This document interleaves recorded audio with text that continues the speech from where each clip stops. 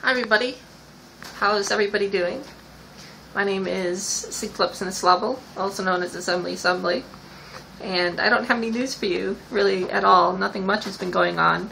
Um, I think I'm changing. I look at myself and I look different.